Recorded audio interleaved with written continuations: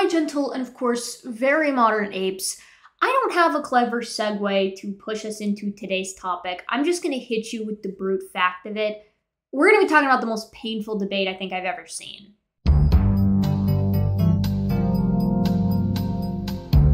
To be perfectly honest, calling it a debate is being very loose with that term. I think I'm more comfortable calling this a discussion. If one were to characterize it honestly, we would simply call it an embarrassment. I realize that's harsh. I've actually been debating on making this video for quite some time now. I've been chewing on it after listening to it at the gym and go to the gym last week. And I feel as though the reason I felt trepidation when it comes to actually putting my thoughts on video and going through this piece by piece is I feel that this is going to be a very difficult video to make while still being respectful. And I feel like by pointing that out, I'm already being kind of mean, but you're going to see what I'm talking about as we work through this discussion. I feel as though on this channel, I try to keep from being unnecessarily mean. That is to say, I try to only be sassy mode when I have been struck first. I, am a retaliatory sass master. And I've never been personally slighted by the interlocutor we're going to be primarily discussing today. So I'm going to do my absolute best to keep my jokes and fun poking at arguments only. And there we will be ruthless. Enough foreplay. It's time to discuss the discussion between King Crocoduck and Professor David McQueen, which was held over on Modern Day Debate on the legitimacy of radiometric dating. You're gonna wanna have the aspirin ready for this one.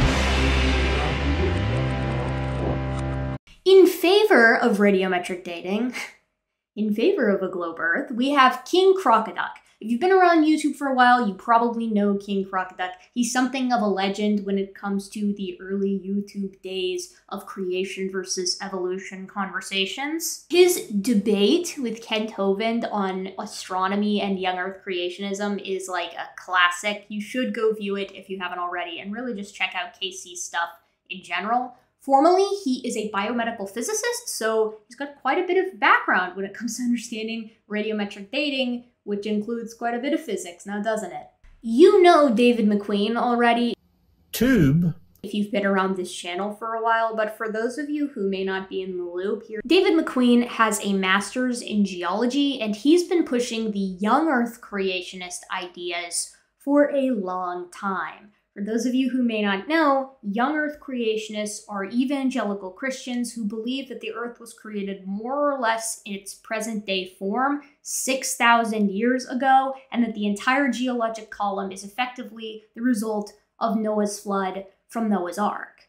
Today, David McQueen spends a lot of time bopping around the YouTube channel Monkey for Banana, a young earth creationist ministry channel, where he still basically pushes the same ideas that he's pushed for the past several decades. Obviously, he is arguing in this debate that radiometric dating does not work at all and cannot be trusted because radiometric dating is like a massive issue for young Earth creationists, given it consistently tells us that the Earth is billions of years old, not 6,000. So just hearing that This is a really good matchup for this kind of conversation, right? On one hand, King Crocoduck has the physics background to talk about radiometric dating and the processes behind it and why he thinks it should be trusted, and David McQueen has the background in geology, so presumably should be able to tell us something about why he supposes it doesn't work with rocks or something along those lines. Now, again, this is not an actual debate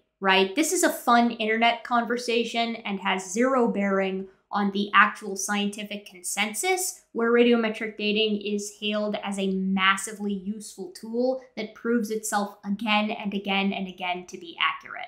Now, we talk about the accuracy of radiometric dating all the time on this channel, and one of my favorite things to point out is the fact that radiometric dating is used in the process of basin modeling, the very first step of fossil fuel discovery. So we've got a $100 billion industry annually that is built upon the back of radiometric dating being accurate to actually pull fossil fuels up out of the ground. Of my geology friend has provided me with several different citations to actually support this notion, like the actual literature behind fossil fuel discovery. This has been pointed out to David McQueen several times, and he has never once actually read through these citations in any kind of meaningful way and shown us why the people publishing this massive success and corroboration of radiometric dating are wrong, actually. In the past, McQueen has shrugged off the support for radiometric dating in the fossil fuel industry by simply saying, well, you can find fossil fuels without actually using basin modeling. And like, you can hit a bullseye on a dartboard with your eyes closed too, but you're going to do so at a much less frequent rate, like on an order of magnitude, than with your eyes open. The same is true with radiometric dating and fossil fuel discovery. When you use it in basin modeling, you are overwhelmingly more successful in actually finding fossil fuels like oil and gas than if you just willy nilly stick a probe down into the crust of the earth. Like, to be abundantly clear, radiometric dating should not be able to accurately predict the location of fossil fuels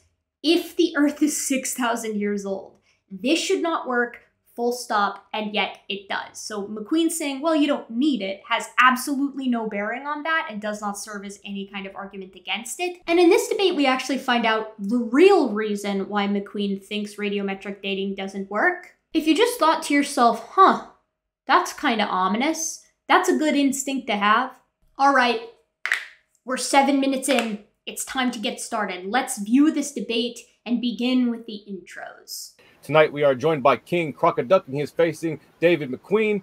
And we are also joined by Donnie of Standing for Truth Ministries. Great technical debate so far. I appreciate the work you've both put into this. Let's keep this uh, cordial, on topic, and as I like to say, sophisticated. We got Donnie Deals in the flesh, baby. To fill those of you who may not know in, David McQueen regularly goes on Donnie's YouTube channel Professor McQueen being our uh, team geologist and flood researcher. They are both young Earth creationists. And I think Donnie does a fine job as a moderator here. He kind of just sits back and lets the conversation flow. But it is worth noting that the two of them are indeed friends, and it would not surprise me at all if Donnie helped David McQueen prepare for this debate. I suspect eventually, as is a classic Donnie Deal style video, that we will get like a four or five hour response stream on his own channel trying to debunk King Crocoduck here. Because as you will see, uh, Donnie's horse does not do so well in this race. We're going to begin with King Crocoduck's opener. I'm not going to show the whole thing, just the parts that I thought were exceptionally good, which is difficult to do because the whole intro is just an absolute banger. So, my argument for the reliability of radiometric dating rests upon three points. Um, first, the fact that decay rates are derivable from fundamental physics. Second, that results are independently reproduced via a plurality of dating techniques across a wide range of space and time. And third, the fact that anomalous results are so sparse relative to the volume of consistent results that even if we couldn't explain the anomalies, we'd still be justified in using radiometric dating. This is an awesome start by KC. He lays out precisely the points that he's going to make in a clear, organized fashion so that you, the viewer, can follow along with ease. The points are also very simple, which they did not have to be considering physics is KC's background.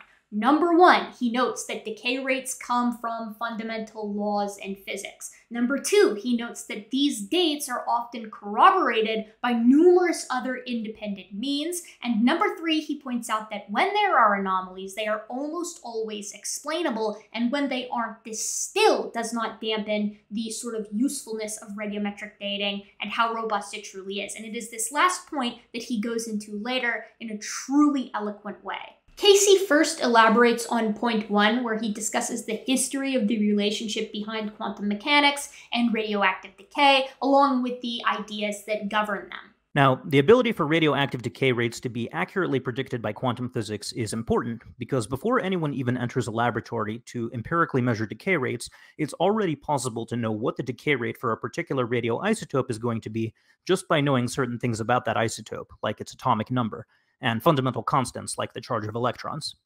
Now, I've always been really proud of the heat problem that I've tried to popularize as an argument against young Earth creationism. Essentially, they need to make sense of the radiometric dates that we have and basically cram billions of years worth of decay into 6,000 years by proposing accelerated nuclear decay, which results in enough heat released in the single year of Noah's flood, or 6,000 years as a maximum, to vaporize the granitic crust of the Earth several times over. And I've liked this as an explanation because it means that they have to come up with some kind of way physically to make their accelerated nuclear decay work without breaking the laws of physics. But what KC has done here frankly blows my argument out of the water. Because really what he's saying is if you accept the basic laws of physics, you necessarily have to accept radiometric dating unless you're going to reconfigure physics in such a way that it explains all our current observations without validating radioactive decay laws that are the foundation of radiometric dating. And he formalizes this in a question. So here's my first challenge to creationists. If radiometric dating is unreliable, then why are we able to calculate the decay rates of radioisotopes from first principles in fundamental physics? The same physics that makes predictions that have been validated to 10 decimal places, the same physics that's responsible for the existence of digital technology and thus the world we live in today, is the exact same physics that tells us that when the building blocks of nature are organized into atoms with such and such properties, they're going to take such and such amount of time to decay. And then those predictions end up agreeing spectacularly with measurement, leading us to conclude that the Earth is billions of years old. My question is, why? that sucks. That's. Uh, I mean. I mean, woof. That's basically saying if you accept regular physics, and indeed everything that regular physics uses, from digital technology to like GPS and stuff like that, um, then you're going to have to accept radiometric dating unless you can reinvent physics in such a way that makes sense of all of those other things and excludes radiometric dating, which is not possible. Okay, moving on to point number two. Radiometric dating consists of a plurality of techniques across many different radioisotopes, all with unique parent daughter ratios and decay rates. Published results consistently converge on the same conclusions using different methods over and over and over again. Uh, for example, the geologist uh, Gary Dalrymple made the table on the left summarizing the results from research he led in 1993 when he sent tektite samples to different laboratories in Australia, Canada, France, and California.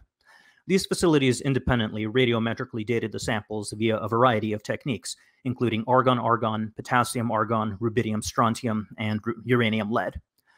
Uh, the results, as summarized by the table, clearly converge upon the same tight spread of values, on the order of about 65 million years. This is another excellent point. It's one we bring up a lot on this channel, where we talk about the nature of radiometric dating and how it is corroborated by other methods. What KC is focusing on specifically here is a publication that showed the cross corroborations of different types of radiometric dating specifically. So, as you heard there, argon argon dates converge on the same date range that you get get from like uranium lead. This, of course, lends support to the fact that the laws of radioactive decay are internally consistent within the periodic table. Decay happens in the same way, regardless of the parent to daughter elements that you use. This, of course, should not be the case if radiometric dating does not work or if the foundations of it are in fact flawed, and we'll see how McQueen actually addresses this later. What I would have liked to see here if I was KC is I would have had a throwaway line at this exact moment where I said, and not only is this within radiometric dating techniques, but it's also in techniques independent of radiometric dating, things like thermoluminescence dating, ice cores, dendrochronology, the freaking movements of the continents. That last one is a favorite of mine, and I'm to take a minute to explain it because, surprise, surprise, it comes up later. So here we can see the Mid-Atlantic Ridge. That's this little neon line that goes down the middle of the Atlantic Ocean. Now, what's going on here is two tectonic plates are moving apart from one another, and as they do, they expose magma that wells up to the surface along this ridge. When the magma is exposed to the seawater, it hardens and becomes new crust. This is called seafloor spreading because as the continents spread apart, seafloor is created along this line. Now, if radiometric dating is correct, then what we should see is as you move away from this mid-Atlantic ridge here, say at this spot, this spot, and this spot successively, we should find older dates as you move away from the ridge, as the ridge creates new continental crust. Now, the interesting thing about this is we can also clock the rate at which the tectonic plates are moving away from one another using GPS measurements, right? Every time you take a GPS ping here on the west coast of Africa and the east coast of the United States, and you do that year after year after year, you'll get a rate of, I believe it's 1.2 inches per year that the continents are moving apart from one another. So you can wind back the clock and you can compare the speed at which the continents are moving apart to the radiometric dates at given points away from the mid-Atlantic ridge. And you will find that they are in lockstep. What this means is that if God doesn't want radiometric dating to be accurate, he is being deceptive here because the rate at which the continents are moving independently confirms radiometric dating. This is, of course, silly. But I can appreciate that KC is keeping it within his own wheelhouse and he's also trying to maintain a tight intro here. So moving on. These kinds of tables also exist for cross comparisons between radiometric dating and other techniques, including tree ring dating, ice core dating, and various types of luminescence dating. You get the picture. All right, but he didn't mention the continental drift stuff. That that part that part holds. So here's my second challenge to creationists. If radiometric dating is unreliable, then why do scientific publications consistently report the same results across different techniques, labs, and even decades? Here's a table published by Bouvier et al. Um, 15 years after Dalrymple's chondrite publication, where they dated a bunch of different chondrites from all around the globe, and their results still match Dalrymple's from the previous decade. They also got about 4.5 billion.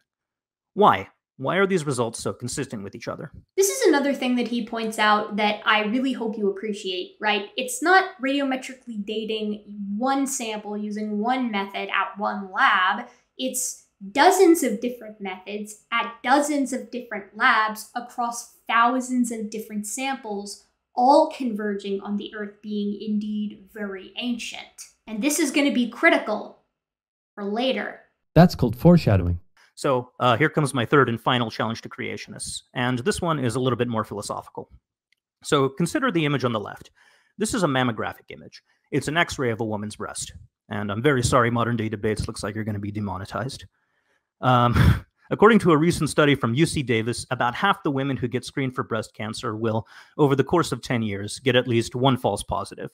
This is one such example. So, given this fact, is it reasonable to dismiss medical imaging as unreliable and stop giving people x rays and MRIs? Uh, should we stop screening high risk women for breast cancer?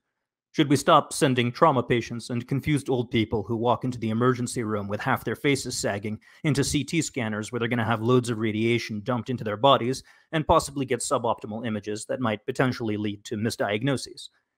And the answer, I think, is very obviously no.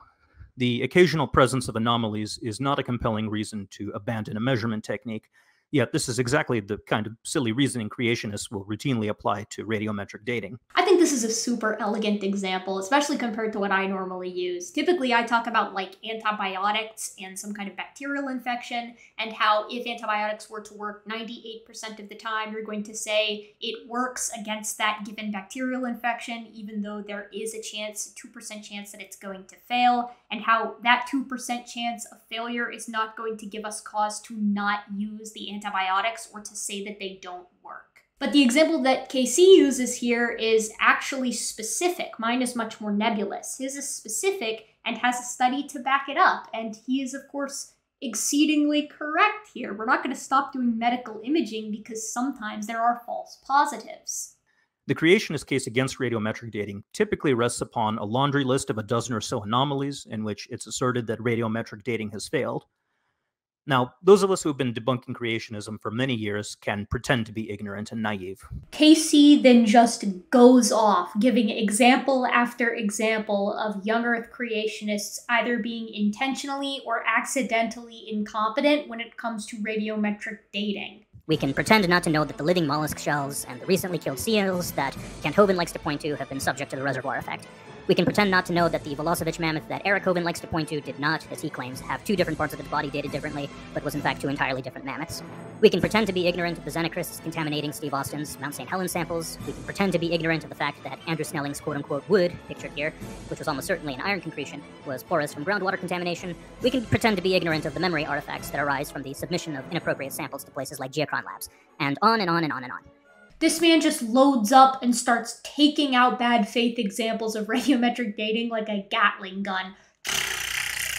There are, of course, a zillion different examples of young Earth creationists inappropriately using radiometric dating, and as KC said, most of them are user error, right? So a lot of times they'll date brand new volcanic rock and then get mad when it doesn't give them the date of the volcanic eruption, which was like 10 years earlier. As I've mentioned many times on this channel, radiometric dating doesn't work like that. Um, not enough daughter has actually decayed from the parent to be measurable. The example I usually give is this would be like trying to get the weight of a semi truck by placing it on a microgram scale. It's just not the right tool for the job. And saying that the tool doesn't work because you are improperly using it would be like giving someone antibiotics when they have a viral infection and then when it does nothing, saying that antibiotics don't work. And like, this is not a hard concept to understand that you can't radiometrically date something that just happened. I can't mm-hmm. imagine this isn't taught in like Geology 101 courses in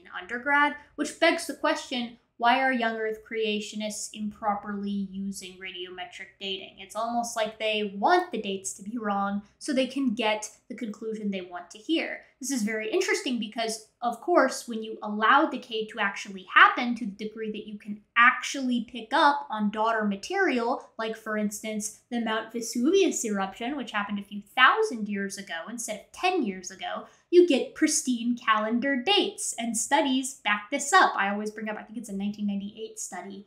And that's relevant too, because this gets brought up to McQueen later in the discussion.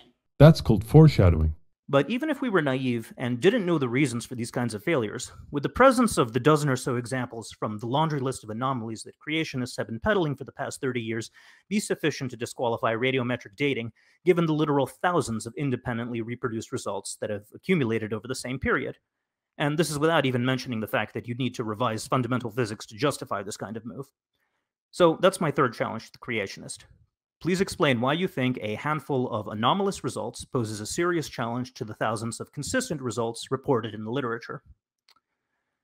Okay, so to recap, um, decay rates are derivable from our most predictively precise theories in fundamental physics.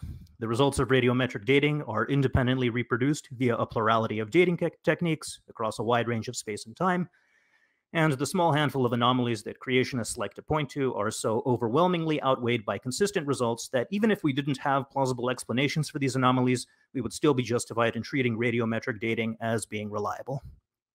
Okay, that's my opening statement. Mwah.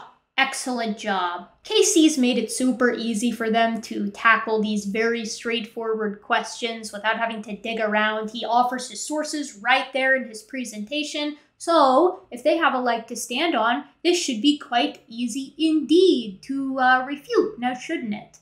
Now, let's hear McQueen's opening statement. From 1983 to 1987, I was a full time flood geologist for the Institute for Creation Research in California. So, yes, David McQueen is coming at this from a very unbiased place, having been a flood geologist working with Creationism Ministries for effectively his entire life. In fact, he goes on to say that he worked for Henry Morris. Henry Morris, the author of the Genesis Flood, the original text that rejuvenated young earth creationism in the United States long after the Seventh day Adventists had kind of fallen by the wayside. So this is very interesting, particularly given some of the things that McQueen is going to say later on about bias. Our choice tonight, King, is do we prefer radiometric dating or dating redheads? I appreciate your comments about mammography because over the 50 years of our marriage, I have been married to a redhead. Next. Okay, you guys, so like McQueen is an older guy. He makes a lot of grandpa jokes, and I think that's perfectly fine. I wasn't super pleased to see all of the jokes making fun of his age in the comments under this debate. I think that McQueen should be criticized on the basis of his argument, not on the basis of something he can't control. However, as much as I would love to completely parse and parcel out McQueen's arguments from the sort of grandpa style antics, it's not really possible to do. It comes in a single package that is very difficult to dissect into arguments alone, although I will do my best in sort of trimming the fat, the random anecdotes here and there from this review. That being said, McQueen is an adult, so we are going to treat him as such and dissect and likely eviscerate his arguments systematically, making fun of them if they are bad, but not making fun of McQueen the person. And I sincerely hope that you will hold to that when you're commenting on this video. My atheist opponent, so he claims, doesn't understand the value of the three problems that affect all dating methods. So McQueen has pulled a classic Woodmorappe here and has decided to invoke these assumptions that he thinks are being made by radiometric dating. And they are assumptions, I would say, but they are justified assumptions. The first he proposes is unknown original conditions. So this would be he's saying we assume known original conditions when the conditions are actually unknown. The second is leaching and deposition. I'm pretty sure where he's going with this is when there are discordant dates, there are alternative explanations for why the dates might be discordant, as KC went over earlier, and he thinks that this is assumed instead of just accepting that we'll never know. And the third is he proposes a constant decay rate is assumed, and he's proposing that the assumptions here are without justification, or at least not without sufficient justification.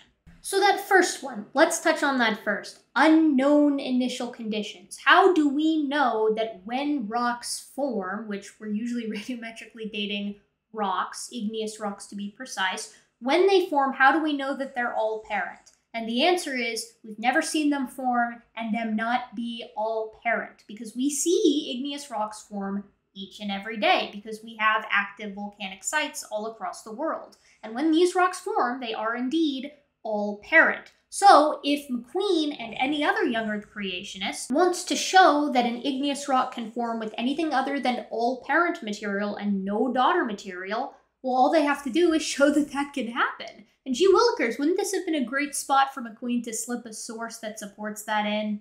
Why didn't he do it? The only even potential exception to this rule is when rocks partially form before they're actually erupted out of a volcano. So they kind of form in this mantly area right underneath the volcano. They partially harden and then they are erupted and then they finish fully forming. And even then, the number of daughter material, the amount of daughter material is going to be astonishingly low. So, to be abundantly clear, they're asking for us to consider the possibility that there might be an exception to a rule for which there are no current exceptions. Then he moves on to his second point, where he proposes this idea that leaching or intrusions into the system can actually give incorrect dates. Never mind the fact that this would have to happen in such a way, this leaching would have to happen in such a way in every single instance of radiometric dating in different ways to just make it appear as though they corroborate with one another. Like the leaching itself would have to be in lockstep, which would again, seemingly to me, make God very deceptive. But he backs up his point by citing this guy, Vernon Cupps from 2019, another young Earth creationist, who says the following Excellent book I'd recommend to you, King, is by Vernon Cupps, came out in 2019. He uses a different argument. He calls it closed system assumption. And notice what he says. So critical to all radiometric dating methods is this closed system assumption. And notice the comment. It strains credibility when applied over millions of years. Now, why would that be? Next. So, a closed system is actually assessed prior to radiometric dating because you're not going to believe this, you guys, but there's actually diagnostic characteristics that show up when a system has become open, when it's been intruded by other minerals or groundwater or what have you that could potentially skew the radiometric dating method. Boo, Gutsick Gibbon, you're just saying that leaching is evident through diagnostic characteristics as a rescuing device. Oh, my friend, take it up with McQueen. You see the brown color, King? That's uh, either leaching or hydrothermal additions. And so, as I have gone in the field since the early 70s, I've routinely seen, as an economic geologist, this kind of alteration. It's either by leaching or, as you see close to the large white area in the middle, by hydrothermal additions. Next. So, yes, it seems as though McQueen has just informed us that if leaching or hydrothermal additions have occurred or are present, then we can't trust radiometric dating. And then he proceeds to show us how we can tell when leaching or hydrothermal additions have happened. Thus, we know when we cannot trust radiometric dating. Now, I don't know if McQueen is aware of this. I don't know if he's indulged in enough of the literature, but there are rigorous parameters that have to be met before radiometric dating actually takes place on a sample, including making sure that the system was closed by looking for things that are clearly visible to the naked eye, like what he just showed on the screen. McQueen proceeds to talk about polonium halos and cross contamination which don't really have anything to do with this third point being that decay rates are assumed to be constant, you know, the implication being that they should perhaps not be presumed to be constant. And then he boots it back to KC. How would you answer that, King? Some quick background for the stuff that I skipped over. Polonium halos are an argument used by young Earth creationists that was popularized by Robert Gentry back in the 1970s. Essentially, the argument works like this. Okay, so you've got granite, right? The type of granite that you're thinking of in your head. Granite as a rock takes millions of years to form, and within granite, we have this thing called biotite. Biotite is basically a group of different phyllosilicate minerals, and these phyllosilicate minerals that make up the biotite group fit into a larger group called the mica group. You basically just need to know that biotite nestles within mica, which is found in granite. Now, within biotite, you can often find radiohalos. Radiohalos are formed basically due to the decay of a radioactive element within the biotite, and there are lots of different types of radiohalos. The cool thing about geology and about physics is you can look at the diameter of these halos within the biotite and you can determine which type of radioactive element formed that radiohalo. Gentry's argument is thus polonium halos are formed due to the radioactive decay of polonium. A lot of these polonium isotopes indeed have short half lives, like on the order of three minutes or something like that. So, the argument goes from Gentry since granite takes millions of years to form, the polonium half life is simply too short for the rock to have formed via evolutionary timescales. All the polonium should have decayed away by the time the rock actually cooled to its final form, and thus, so the argument goes, the rock must have been created instantaneously instead of by conventional means. And that's what Gentry thinks happened, right? He thinks that these polonium halo laden granites were created on day three of the creation week, right? Like snapped into existence along with everything else on its respective day. So, what's the problem with this from a conventional science perspective? Because obviously, this observation was made back in the 1970s and we've progressed just a touch since then. So, David McQueen notes that Robert Gentry got his samples from all across the world. But curiously, when you look into this a little bit, you'll find that specific locations are only given from the work that he did in Canada. Specifically, he got samples from the Fission Mine, the Faraday Mine, and the Silver Crater Mine. So scientists other than Gentry could at least double check those sites and check they did. In 1988, J. Richard Wakefield went ahead and surveyed the sites that Gentry had gotten his samples from, and what he found was very interesting. One, he found sedimentary rock, which should not be the case. Sedimentary rock is, of course, laid down. This Precambrian granite was supposed to be poofed into existence on day three of the creation week. So sedimentary rock should not be found underneath, particularly since it doesn't seem to have evidence of reworking. Number two, and this is the more titillating of the two finds, there were microscopic fossils, stromatolites, underneath the Precambrian granite that Gentry supposes was again snapped into existence on day three Creation Week.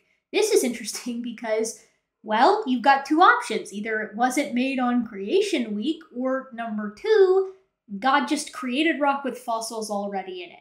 Not only that, but the polonium halos are also almost always found along cracks in the rock. Wakefield was busy while our boy Brawley was at work, and in 1998 he released work that noted that in the case of the Silver Crater and Fission locations, we weren't dealing with granite at all. Gentry's sample came from a calcite dike. In the case of the Faraday mine, we weren't even dealing with true granite, but granite pegmatite. What this means is that all the locations that were publicly available for scientists to cross check that Gentry presented initially were actually not true granites, but a part of a vastly complicated geologic history that doesn't match his prediction.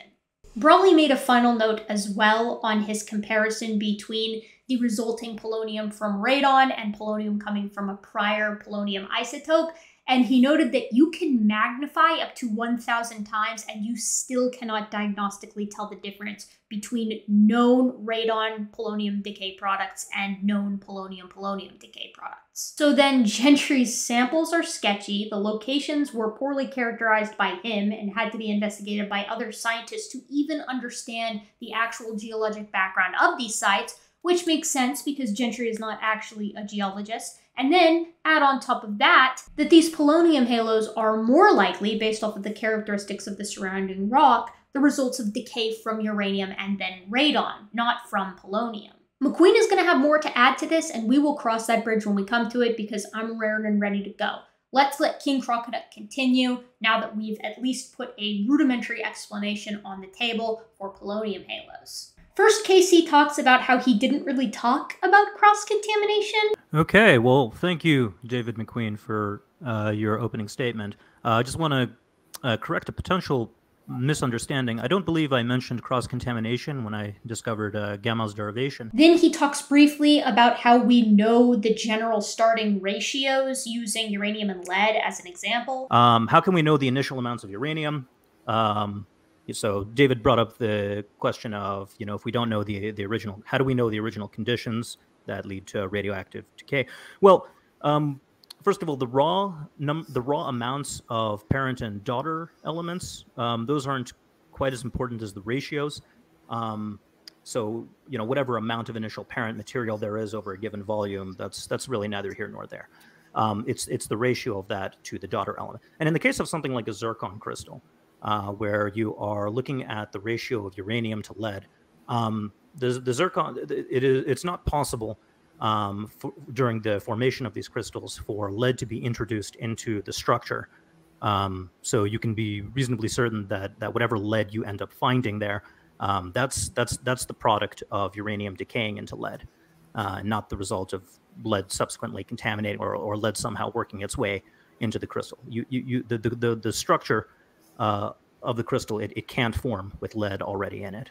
Uh, the condensed matter physics just don't allow it. And finally, to my absolute delight, he talks about some of the consequences of accelerating nuclear decay, but instead of moving into the realm of the heat problem, he takes it in his own direction. Okay, well, I guess I guess it's worthwhile to talk a little bit about some of the consequences of accelerating decay rates to the extent necessary um, to produce uh, to produce the results that are conciliant with the creationist account, and that is that you're going to end up sterilizing the entire Earth with the amount of radiation that you're producing. Um, you're taking uh, 4.6 billion years of geological history and compressing it into 6,000 years. Um, so you're going to have this outflux of lethal ionizing radiation that's going to irradiate everything on the planet and just kill it. Um, you, you get these kinds of silly results uh, when you start messing around with the laws of physics and you start messing around with this or that fundamental constant. I mean, you, you know, not even looking at the physics of it, not even looking at Galois's equation. Like, like let's say you wanted to change the charge of the electron to make this process feasible, right? Um, so you change the charge of the electron vastly to whatever hundreds of thousands of, um, of orders of magnitude necessary to produce the creationist answer. And now you end up with a situation where stable atomic nuclei can no longer form. McQueen responds to this correct characterization of his young Earth creationist outlook wherein accelerating nuclear decay to the degree that you take 4.6 to 4.8 billion years of history and cram it into 6,000 years, where you're effectively unknitting the laws of physics in order to make that happen. And he responds by holding up a piece of paper that says, "Silly." Seriously, just just watch what he does here. Um, the structure of the universe literally just just just becomes kaput. Like, sir, we know it's silly. That's why KC is pointing it out to you. KC is just sitting here pointing at young Earth creationism and going, this you, and then McQueen is getting offended. So, depending on how you approach this problem, whether you decide to tinker with fundamental constants or whether you decide to uh, just make it decay faster and then you have this outflux of lethal ionizing radiation that sterilizes everything on the planet, it doesn't seem to me that anything fruitful comes of it. It seems to me that the most parsimonious explanation for these things um, is just the known physics, and we don't have to invent any new physics to explain this. Okay, so I think uh, I'll see the remainder of my time. I like the radiation problem. I think it's fun, although I am still partial to the heat problem. No matter how you spin it, cramming nuclear decay that spans across 4.5 to 4.8 billion years, 4.6 to 4.8 billion years, and putting that into a 6,000 year time frame, really a one year time frame if you're a young Earth creationist, because they typically propose that all the wacky physics changes happen during the year of Noah's flood. You're going to have issues. Whether you're irradiating the planet and sterilizing everything, changing the laws of physics so you don't sterilize everything, and then unknitting reality by accident, or speeding it up to the extent that all the heat that is supposed to be spread across that vast span of time is now in a single year, and thus you vaporize the granitic crust of the Earth a dozen times over, there are issues that cannot be fixed. But not according to McQueen. You see, I have it on good authority, and this good authority is that McQueen has told me that him and his buddy George, a random Australian friend of his, are working on fixing the math so that it works. Now, just so you guys know out there, they're trying to change physics here because Answers in Genesis, Institute for Creation Research, all these big orgs recognize that this is a problem that they're probably going to have to appeal to miracles to fix. There was an entire organization called the RATE Project made exclusively up of young Earth creationist PhDs, geologists and physicists and stuff like that, who tried to figure this out back in the early 2000s, and they came to the conclusion that they would have to appeal to future exotic solutions to solve it because there is no way to speed up the decay and not ruin everything. McQueen has a solution though. Him and George have cooked something up and he calls it his blob model. Tube, which illustrates heat coming up from the BLOB, the blob. McQueen likes his props. Uh, George and I uh, will continue to work all during the month of November on the mathematics of this. This was last November, you guys, not this November. It's been a year and we still have no math. Back in the present day, this is the part of the discussion where McQueen starts to get a little bit sassy. As a professional scientist, I don't appreciate you referring to what I think as being silly. Oh, boo hoo! Let me play a sad song for you on the world's smallest violin and especially what Dr. Baumgardner and Dr. Andrew Snelling, two colleagues of mine for many years, to characterize their information as silly. Yeah, I don't care. You should try not holding such a silly position. This is this is like that scene in Arrested Development where Gob and the Alliance of Magicians hold a protest where they hold up a sign that says "We demand to be taken seriously." Oh, you don't want to be called silly? Then stop acting so silly. And if you think the silly meter is high now, just you wait. We're about to reach whole new levels of silliness. What, you think it can't get sillier? You think this can't get any more goofy? You think we've reached the highest level of wackiness? You don't know shit. So, where to begin with the mistakes you've made? Well, let's start. Let's start with uh, polonium. He's really upset about being called silly. What a silly goose. The argument that Gentry put forward, and I think after my 30 years of study of this, as the years have gone on, uh, is a point very well taken. Some of these polonium isotopes have very short half lives. As a matter of fact, less than three minutes. So we've already gone over the basics behind the polonium halo stuff, but next McQueen is going to bring up a concept called eutectic crystallization. Let's hear him out. Now, I appreciate King's comments about not being a geologist. So he may not know about a uh, process that uh, is called eutectic crystallization. Eutectic crystallization on a phase diagram. At the University of Michigan, I had to suffer through a semester of physical chemistry. It was so bad at Michigan, so hard, that there were bumper stickers that said, honk if you passed P-Chem. I mean, for what it's worth, my undergraduate degree was entirely STEM. I was pre vet at the time, so I took two semesters of inorganic chem, two semesters of organic chem, one semester of biochem, and two semesters of physics alongside all the biology courses. And I feel like phase diagrams were not the difficult portion of inorganic chemistry. So sadly, I actually do know what I'm talking about about this. It was very, very difficult uh, uh, class, but on a phase diagram, this point here is called the eutectic. Now, what does that mean? The eutectic means that a mineral like biotite or a mineral like fluorite, two of the minerals that radioactive halos are found in, when you reach that eutectic point of pressure and temperature, they immediately crystallize. And so there's nothing uh, magical about the rapid crystallization of things like polonium 210. So, there being a name for the rapid crystallization of polonium, that being the eutectic point, does not mean that the conditions to reach the eutectic point of polonium in this granite system do not in and of themselves have to be magical, right? If God creates everything ex nihilo on day three, that's magical even if a eutectic point is involved. If I point at someone and tell them to spontaneously combust and then they do, the magic element is me telling them to spontaneously combust. The act of spontaneous combustion itself can be quantified in like physical and chemical means. That doesn't mean it can happen naturally. But now let's not miss the, the point. Uh, as Gentry wrote his uh, papers for Nature and Science. These were peer peer reviewed papers. You know, he went he went back to his background as a Seventh Day Adventist, and he looked back, and when when Genesis records that uh, God created the heavens and the earth, and then on the third day there were uh, additional rocks formed. He viewed that as happening very quickly.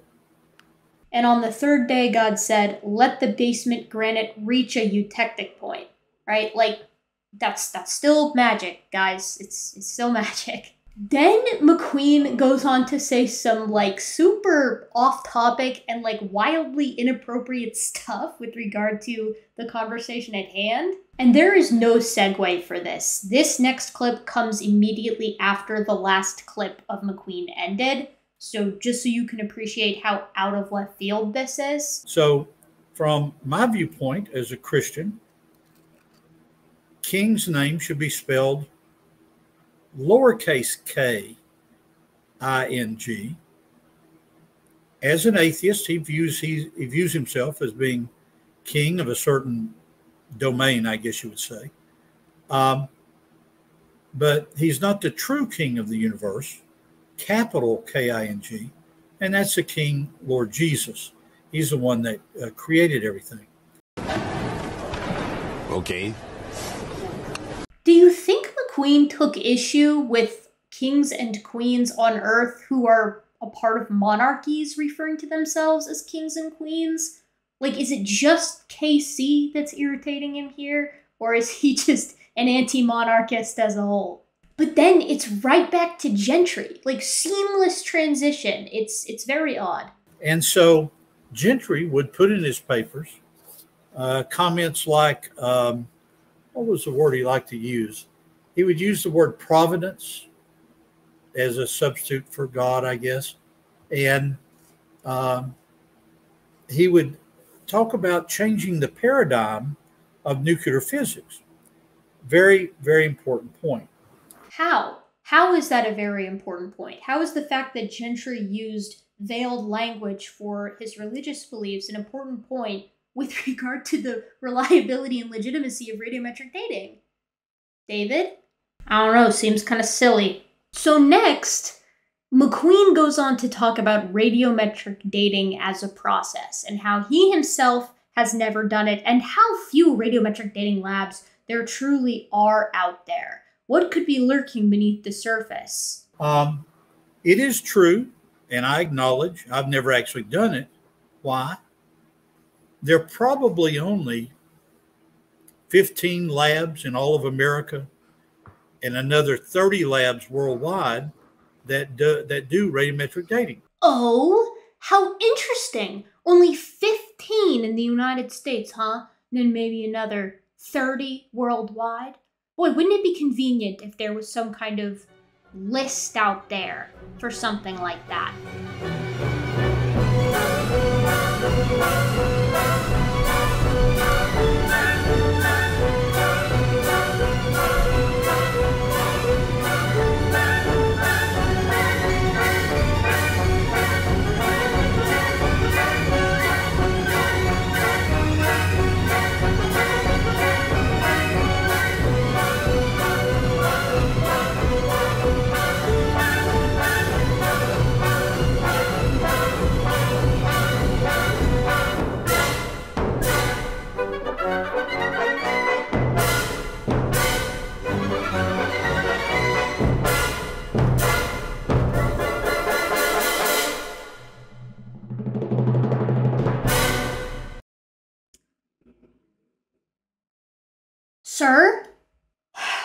Tell you, I'm getting real sick and tired of hearing creationists say stuff and then finding out they're wrong on the first result of a given Google search. But McQueen needs the number to be low, actually. He has a point that he's about to make. You've probably already guessed what it is. So there, it's a, it's a very closed circle. It's like a, uh, it's like a cult. It's like uh, the Masonic order or the uh, the Illuminati or something like that. Oh, no! You're an adult! Oh, no, no. Hey, it's a conspiracy, baby! The Illuminati, the Freemasons, all working together to hold together the New World Order by radiometrically dating rocks. Thousands of workers across 150 labs worldwide, all in on it. I mean, you gotta give it to them, right? There are very few young Earth creationists that will just come right out and say, yeah, I guess it does look too much like the Earth is very ancient. It must be a conspiracy. Why are the elites hiding the fact that the globe Earth is actually flat? Because of sinister reasons. Why are the Illuminati hiding the fact that the Earth is very young? Because of sinister reasons. You know, every month when I get their newsletter, I encourage the higher ups that we need to come up with a better motivation than just sinister reasons, but they tell me that's not my department. Are the people again, they're they're probably less than 200 people that actually understand how you take a granite and uh, use hydrochloric acid, begin to dissolve everything out. And then notice the words that King used, lowercase king. Um, he said that Dalrymple chose from those hydrochloric acid etched zircons the ones he thought would be best. So, one, of course, it's not going to be 200 people in the whole world that know how to radiometrically date stuff when we have 150 labs, right? Not to mention the fact that the process is taught to students who then don't go on to actually work in radiometric dating labs. So, we're talking thousands of individuals, probably, certainly over a thousand, probably well more than that. With regard to Dalrymple's sampling, yes, it turns out he would decide which samples to use. If you find a sample that is clearly contaminated by like groundwater or something, wouldn't make sense to use it. It's going to give inaccurate results. In any field where you take samples of things, you choose the samples that are going to yield results and not be corrupted by other variables. Woohoo, you might be thinking, how do you know that picking those specific samples isn't leading to some kind of bias and we only think radiometric dating works because we're picking the samples where it works. One, that's silly for numerous different methodological reasons, but two, if that were the case, radiometric dating wouldn't be capable of making hundreds of thousands of predictions across the decades, which it does, again, in areas like fossil fuel exploration. Oh, really? Um, one of the arguments that King has made throughout this debate is that the zircons in which Gentry found the samples in, do keep in mind that when I worked for Gentry uh, in the early 70s, he taught me actually how to make these measurements. And so I have actually, with my own eyes, looked down a microscope and seen a halo. And my goal, Gentry gave me, was to use grit to get right down to where the zircon was. And that gives you a true diameter. But what's my point?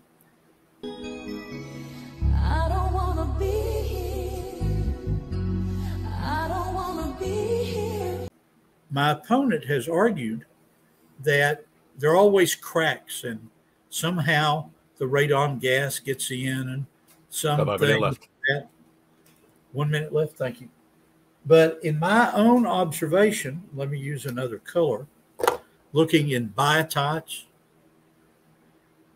which are silicates, phyllosilicates, in fluorites from pegmatites around the world. When I actually did this all those nights that I worked for him part time, I saw no cracks coming through. When I did my sections and when he did his sections, which are part of this 1974 paper that I've referred to, he didn't use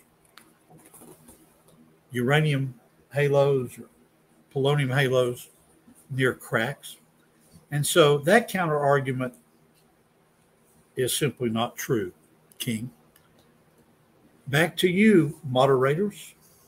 So he took a little bit to say it, but his point was there are no microfractures because I have seen radio halos and I did not see microfractures when looking under a microscope. Now, remember, we're often using microscopes that are of industrial grade, thousand times magnification. And even then, differences are difficult to discern, at least between polonium decaying into polonium and radon decaying into polonium.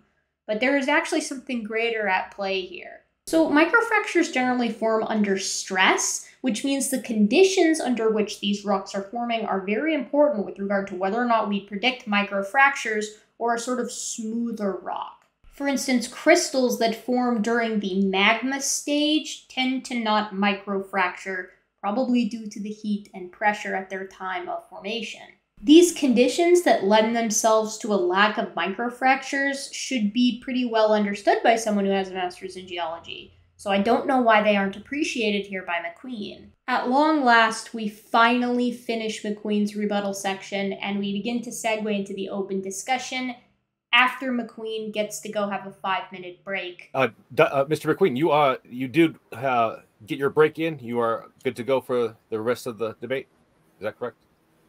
Well, uh, ordinarily, Donnie allows me to take a break at the one hour mark. So I'm good until uh, I notice we've been on now about 50 minutes. Can we go another 10? What we can do Oh. is, is right after the discussion, the 40 minutes that we could start now, um, we can do a, a, a, a bit of a break there if you needed a bathroom break or anything like that. Yeah, please. Uh, if you would drop my video, I'll go get some hot tea and be right back. Which I'm going to do myself. I'm going to take a sleep for about eight hours, and I'll see you when I return, bright eyed and bushy tailed.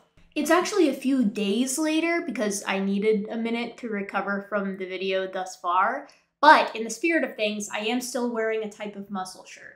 So while McQueen is getting his tea, KC sets up another presentation to bring up some examples and the beginnings of the opening discussion. And his opening kind of comments before McQueen returns really exemplify some of the thoughts and some of the moods that I was feeling after hearing McQueen's rebuttal boiled down to it's all conspiracy. David and I will talk, and I'll I'll offer some of my opinions as a professional scientist, as one who is currently working in science, uh, on some of the things I don't appreciate about implications of of conspiracies. So that's that'll be, I think, the first topic of discussion. As it should be, I think. McQueen's response to why do all the radiometric dates seem to corroborate and hone in on a singular idea of an ancient Earth 4.5 to 4.8 billion years of age, and why do they seem to match across different methods within radiometric dating and also external to radiometric dating, these independent methods like ice cores, dendrochronology, thermoluminescence, and the movements of the continents. And his response is just, yeah, it's too good, must be conspiracy. So I do agree with Casey here that the first order of business should be on what basis does he place the idea that there is some cabal of radiometric daters around a thousand people across the world all together uniting in this nefarious idea of showing that the earth is very ancient and that this idea is also useful to the fossil fuel industries and indeed many others. Why does he actually think this? Surely it's not just a, a faith claim, right? The Queen shows back up to deliver news of a devastating event. Have some sad news. My coffee machine broke, um, but uh, we can go on. I thought he was getting tea. So, David, you uh, mentioned that there were some things that you, as, as a scientist, didn't appreciate. Me saying that there was some silliness going on in creationist accounts of how the world works. Uh, one thing that I, also as a professional working scientist, don't appreciate is the suggestion of conspiracies taking place without the supplying of evidence to support this. Because believe it or not, this is actually a question that can be addressed. So it seems to me that your suggestion, and you can correct me on this if I'm mistaken, is that this cult of 200 or so people in the world who do the radiometric dating, um, they massage the data in such a fashion as to produce cr- cross confirmations of the sort that you see on the tables in front of you. Is that correct? Do you, sir, believe that there is a cabal of around a thousand people worldwide across nation lines, all working together towards the singular goal of making sure that their radiometric dates corroborate one another, and that there is also seemingly no email evidence of this whatsoever? It's a simple yes or no question, right? Do you believe that, or do you not? Well, let's look at it this way, my friend. All of these people have jobs that, in the American context, are above minimum wage. Yes, he takes almost four minutes to say yes. However, there is key information added in McQueen's response here. He doesn't actually think that these individuals in the cabal are a part of a cabal in the sense that they communicate with one another. He simply thinks that each individual is operating under an evolutionary paradigm that they assume, and then they make a guess on what the radiometric dates would be if evolution was correct. N- Yes, I know evolution and the age of the earth have very little to do with one another methodologically. That doesn't matter. McQueen pairs them. Most young earth creationists do. Now, the question here, then, of course, is why did the guesses also match up? Like, if there's no objective criteria that exists as a basis for assigning ages to rocks, why are individuals coming to similar ages at all if they're not communicating? I feel like realistically, it has to either be a genuine conspiracy where all of these individual agents are communicating across this network of evil to make sure that their dates cross corroborate one another, or it's just a really big coincidence that these guys are guessing the same dates. But I would suggest to you that um, these are the reasons that certain young universe, young Earth dates are rejected is because they, they'd lose their job. They'd lose their job within a month. So it's not a top-down conspiracy with some shady individuals sitting in a volcano barking orders at these labs. It's it's it's more Oh, of a no, bottom-up. not at It's, it's a bottom up thing from perverse incentive structures, is what you're saying. Yeah. As a response to this characterization, David McQueen goes on a tangent about how he doesn't think KC should categorize himself as an atheist. Instead, he should be an agnostic because he doesn't think Casey has turned over every rock in the universe and thus can't say there is no God, to the point at which Donnie has to actually step in and drive the conversation back on topic. Yes, the same Donnie that put McQueen up to this debate in the first place has to corral his man into talking about the subject he came to speak about.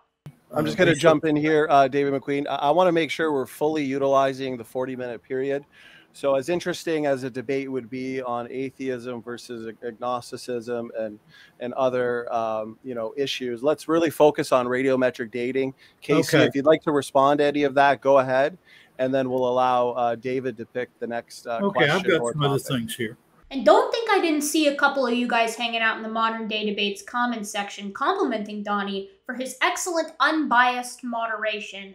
I don't think that this particular instance was Donnie trying to be a good moderator. I think he saw the writing on the wall and he knew this was making McQueen look bad. The entire side chat was like, What are we talking about? I thought this was on radiometric dating. So, you know, but I am a pessimist on Donnie's motivations these days. Okay, go ahead, uh, Casey. Okay. Well, if David is correct, and for example, these tables by uh, Dalrymple don't include all the data he collected because he arbitrarily excluded dates that didn't conform to his expectations, then we should be able to find statistical residue left over from that decision. Uh, so I'm going to give you an early Christmas present right now, David, and I'm going to show you how you can actually go about exposing um, the kind of fraud that you're suggesting is taking place. I appreciate, I'm surprised you would even acknowledge Christmas as an atheist, but go ahead. To be perfectly candid, what Casey did in preparation for this next part to respond to McQueen's conspiracy claims is absolutely impeccable as far as foresight goes. I guess he knew ahead of time that McQueen was going to bring the conspiracy up, or he had some kind of inkling that it would maybe come up. So, what Casey did was run a statistical test using a handful of papers to see if there was some kind of selective bias in reporting. He just did a preliminary test of McQueen's hypothesis of conspiracy and then presented it to him. So what I did was I generated a funnel plot of the standard errors for the measured KT deposit tektite ages against their mean values, along with the results of a, of a regression test to determine the extent to which this plot is asymmetrical. Uh, and as you can see, p is greater than 0.05, so the funnel plot is symmetrical, and the test does not provide evidence for the selective reporting of outcomes. Um, if there was selective reporting of outcomes, at least within that data set, what we would expect to see is that there is a non negligible relationship between the effect size that they want to get and the standard error associated with that effect size. The effect size in this case just being the, the means, the mean ages that they calculated. Um, so I did the same thing with the data involving the chondrites, and once again, there's there's no evidence of publication bias. This physically hurt me on behalf of McQueen, but mostly Donnie. I don't think McQueen fully comprehended what Casey was saying, at least at this point in time. But oh gosh, ah, that's gotta hurt. That's gotta sting. That someone took your conspiracy idea that you may have specifically posited because it's so nebulous and difficult to test, and then just tested it for you and showed that it was BS. Bravo, Casey. Love that. Love that for you.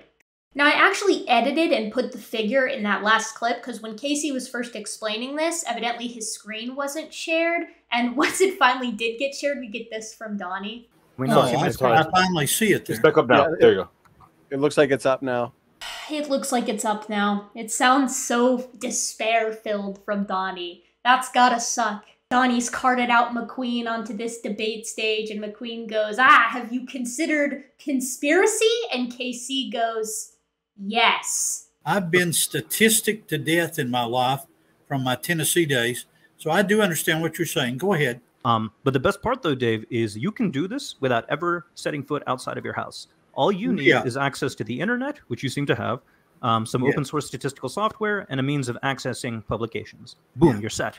Yeah, I'm sure he'll get right on that, KC, right after he figures out the math for solving the heat problem, baby. Tube. Of course, now that you mention it, right, he doesn't need to solve the heat problem anymore. If it's conspiracy, then those radiometric dates don't actually show ancient ages, so he doesn't have to account for it. Yay! Oh, wait, no, now you got a conspiracy problem, huh? That you can't support. I'm aware that there's a new open source that is the letter R. I'm not sure I'd call R new, but sure, go go go for R. It's a Oh, good yeah. one. Certainly new for me. Um, okay, may I respond uh, uh, to this? Mhm. Um, of course, yeah. Uh, we want to make sure it's it's it's free flowing. So Yeah, feel free right. to re- respond so- to each other. Oh, poor Donnie. Damage control Donnie. Yep. Uh, we want to make sure it's it's it's free flowing. Uh, we want uh, we want Please, David, say something. Answer him. You can't just let him show math and charts that prove us wrong and make us look silly. Let me uh, pull some data um, on a couple of different things. Uh, George Bond is a name I hope you're familiar with. Yeah, the random Australian that has been working with you for the past year unsuccessfully at coming up with the numbers that solve the heat problem we know. George and I uh, will continue to work all during the month of November on the mathematics of this. Uh, he pointed out to me that a 2018 post on physics.org um, made a, a very interesting argument against uh, radiometric dating. The dilution of atomic carbon 14 by volcanic carbon made the dates for tree material from the Taupo eruption appear to be 40 to 300 years too old. Now, that's a small error there, but let's read what it is. Oh, there was an incorrect radiocarbon date due to introduced carbon, something that we know happens, and I've myself a super long video on describing the many ways that this can happen via cosmic radiation or intrusion by groundwater. This is not groundbreaking, and I think McQueen knows it by the way he sheepishly adds, this is a small error. But more importantly, we could recognize that carbon was added, couldn't we? Meaning there's a diagnostic means by which to assess material to find out whether or not there's been intrusion. And the la- last eruption is falsely put in the literature as two, 250 CE. That really should be BC to honor the true king, King Jesus. Uppercase K King, for those of you wondering. McQueen then goes on to ask Casey how he can make sense of this discordant date, and Casey responds by bringing up what he said earlier. But at, at the end of the day, even if if you had no explanation for how any of this could happen, even even even if the dozen or so anomalies could not be explained, um, it would still be justified for the same reason mammography is still justified, uh, despite the fact that there are occasionally errors. But I'm not entirely sure what this has to do with my point concerning publication bias and Egger's regression test and funnel plots.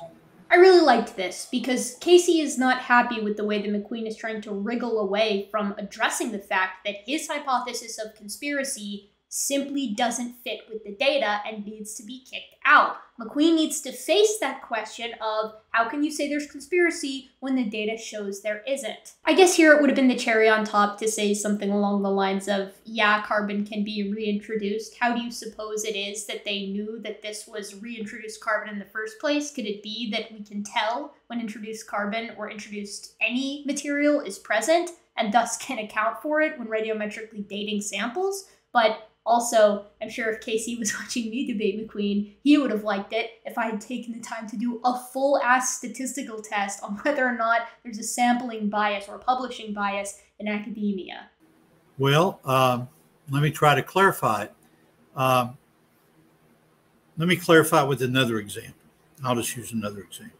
And he just proceeds on his merry way, talking about another anecdote. Finally, Casey breaks in, thank God. I work for the United States Geological Survey and I'm sorry, David. Could I, could I could I interrupt you really quick? I'm I'm still not seeing what this has to do with publication bias. The the accusation of, of publication bias um, for the geochronological literature.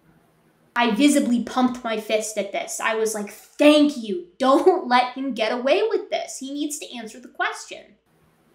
Okay, well, let me go back. I thought I'd made this clear earlier. Um, let's see, how could I say this? In 1997, I would give the pain a 10. Um, I mean, go watch this for yourself. I'm not selectively editing this. He really does just keep doing this over and over and over again. It needs to be said, McQueen is not a very good debater. He's not very good at articulating his points. and he and his agnostic buddies made fun of Bishop Ussher. They actually had a guy come in dressed as a bishop. But he does get to his point, and that is this. My argument is that these papers that Dalrymple put out in the 90s are selective data. In other words, Right. have I get that point. I get that. But can we can we share my screen again? Because I feel like my point's not being understood. Okay. And this is why I'm saying McQueen didn't understand the point earlier, because what he just argued is the entire thing KC statistically tested for selective reporting. Okay, so David, uh, let me let me simplify this really quick, uh, re- re- really broadly for you. Why is this plot, which is generated using the data from this table on the left over here, why is this plot symmetrical, and why is p greater than 0.05? If there is Okay, publication bias taking place, if, if there is selective Okay. reporting of data. Let me write this down on my whiteboard here. This is one of the roughest parts of the discussion, and I'm going to make you listen to all of it. So here we see KC trying to explain the statistical test that he performed, as well as the data set that he drew from, to David McQueen. Enjoy. and we'll talk about it. So the can you make this big? What is the y-axis on this thing? The standard error. Okay, this is standard error. Mhm. Okay, X-axis is the So mean, is- the mean measured uh, ages in millions so of this is the mean. A Gaussian distribution, mean. Poisson distribution. What kind of distribution? Um, these are normally distributed. Okay. These are from, the, from normally The x-axis is what? Effect. What does that say? effect size. So in, in this context, that means the uh, mean ages. Okay. And so we've got this cone here. And the Right, the data plot. points, the do- the data points have got a uh, uh, are up here at the top. Now, are you saying that the data you plotted there is from Dalrymple's data? Yes, this is this comes from the table on the left. Okay. Now, these are up here um, very close to predictions. But what about all these that are scattered all around here? Uh, they they don't have an R value that's statistically valid valid, do they? no, no, this this is this is not a correlational plot. This this is a funnel plot. The the the the, the regression test is not run on this plot. Um, Okay, but so what see, what are the numbers at the bottom? The numbers go from what ten up to eighty or something. I uh, can't read the down- the- the the- x-axis. the x-axis goes from 62 to 68. Those are millions of years. 62 million years Mhm. to 68 million. Right. And what this plot is measuring is the relationship between the measured mean and the standard error, the, the standard deviation, quote unquote, of, of these results. Now, we would expect, if there's publication bias, for there to be a non-trivial skew of this results in one direction or the other, or just just wildly scattered all over the place. But what we see instead is is a symmetrical distribution, which means that there isn't really a preference for uh, where they want their data to land. Um, the the most precise measurements, um, which are the the ones that are closest to the true effect size, um, these are converged upon um, by all of the other data, including the the less precise measurements. Um, whereas for a biased literature set, we would expect there to be a whole bunch of less precise measurements that are clustering around some preferred value. Um, and we can Well, quantify that a- using the regression test. For, so, so what I'm Let saying is a- you can you can apply this kind of test broadly throughout the literature to check for publication bias. But I've applied it specifically to this instance, and there is no evidence of it here. So I consider myself proficient in R. I understand statistics decently well, but I'm by no means an expert in it. And I felt he did an excellent job there explaining precisely what he did and what he was testing for. In response to this very succinct breakdown that Casey just provided for David McQueen, all while David McQueen was taking notes on his whiteboard, this is how he really responds. When I worked for the Louisiana Department of Environmental Quality, one of my coworkers was a just got bamboozled once again. You can't make this up. So I edited down the anecdote, and we finally get to hear McQueen's response to the work that King Crocoduck did. Now, what's my point? My point is, I choose to disagree with the data that uh, Dalrymple published in the mid 90s. Let's go on to our next uh, point, please. He disagrees with it. He just he just disagrees with it. yeah, you know, I just choose to disagree with the evidence that shows the Earth is a globe. Counter evidence? No, I just choose to disagree with it. Yeah, you know, I choose to disagree with the statistical work that shows that smoking is associated with certain types of respiratory cancers. Counter evidence? No, I, I choose to disagree with it. It's raining outside today? Well, I choose to disagree with that. Joking aside, this is a pathetic response. It's not really a response at all, is it? And KC, God bless him, just doesn't let this slide. But uh, I'm, I'm not understanding why, though. Like, the, the claim that you made earlier, the suggestion you made, is that there's a conspiracy. Uh, it's not a top down conspiracy, it's a bottom up conspiracy, as we clarified. That's the result of perverse incentive structures. They suppose supposedly they don't want to lose their jobs, so they're just throwing out. Yeah, if that's- exactly. But but if but then if that were the case, we would see this plot here being skewed uh, in one direction or the other. It, it would not be symmetrical, and this p-value here would be less than 0.05. So what I'm saying here is that this analysis that I performed, uh, actually for both data sets, here's the one for the other one, um, these things do not show evidence of what you're saying to be the case.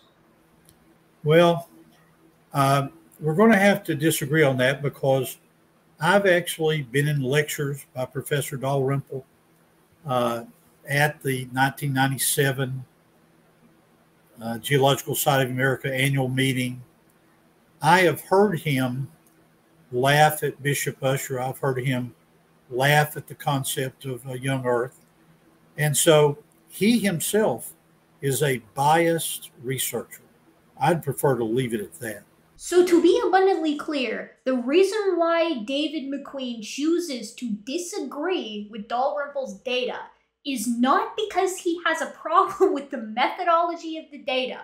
It's because Dalrymple laughed at young Earth creationists. I mean, I just don't know what to say about that one. On one hand, it has really nothing to do with, again, the actual analysis performed by KC, but also Dalrymple wasn't the only dataset used by KC. What about that one, David? Okay, whatever. I I, I guess uh, I guess this is something we'll just have to put off to the side. I mean, I've thought about it a little bit, and I guess this is exactly what you would expect as a response from your average person. If you've held the belief for, you know, 40, 50 years, that's four to five decades, this idea that there's a conspiracy, and that's the reason why your ideas aren't gaining traction and the ideas of people that you seriously look up to. I think that when confronted with actual data, especially live like this, that just outright proves you wrong, that there isn't actually a bias, and maybe, perhaps, the problem was with your work and not who you were, that's going to cause someone to kind of shut down. The cognitive dissonance going on there is just going to cause a complete blackout, cognitively speaking. And that really sucks. I feel kind of bad for David McQueen. He has the shutters up. He cannot be reached even by data itself. It's just not going to make it past the sort of this sort of safe zone that he's set up for himself. I feel kind of worse for Donnie because it makes him look like a kind of a jackass for putting McQueen out here in the first place, and also because he's been really um, signal boosting McQueen and McQueen's ideas over on his channel for quite some time now. But this is something of a lesson, I think, for those of us who are science communicators and trying to communicate um, how to think critically and how to assess things like scientific papers. And that's that some people aren't going to be reachable. And it doesn't matter how much proof, quote unquote, uh, support for your idea is a better way of putting it. It doesn't matter how much of that you bring.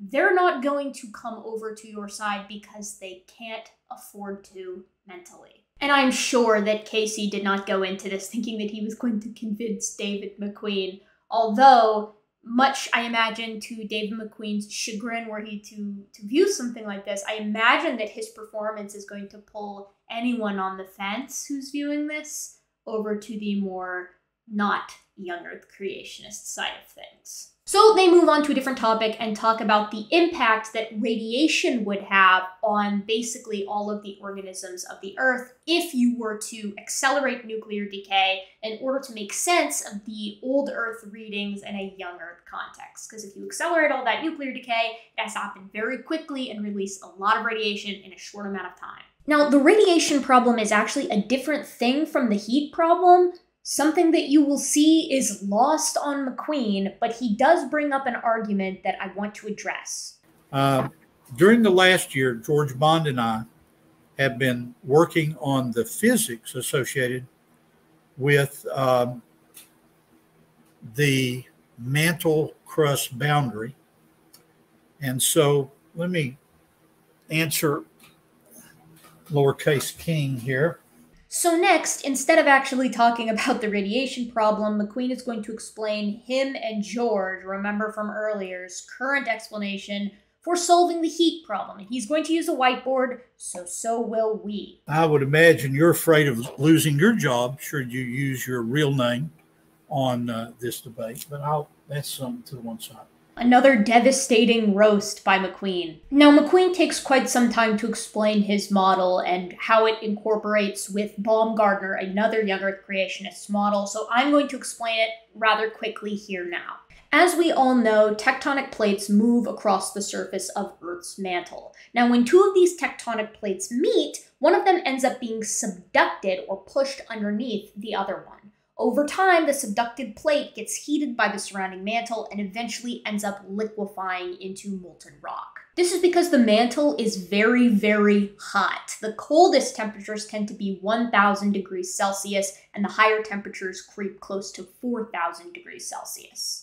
Back in the 90s, young Earth creationist John Baumgardner pointed to the fact that some of these slabs, before they're entirely liquefied, are cooler than would be expected under normal evolutionary timescales and processes. He uses this to say, well, that means that they must have been subducted very recently indeed, instead of over the course of millions of years. McQueen has hijacked these cold slabs in order to try to solve the heat problem. As you know, if you want to cram all of the radiometric decay from 4.5 to 4.8 billion years into the single year of Noah's flood, which is what most young Earth creationists want to do. They call this process accelerated nuclear decay. And then add on to that the heat that is released from the rapid friction of the continents atop the mantle, since they need to get Pangea and Rodinia, previous supercontinents, into their current formation during the single year of the flood, they need to get rid of all that heat because all of that heat is going to vaporize the granitic crust of the Earth a few dozen times over, which would annihilate Noah's Ark and, of course, the entire planet.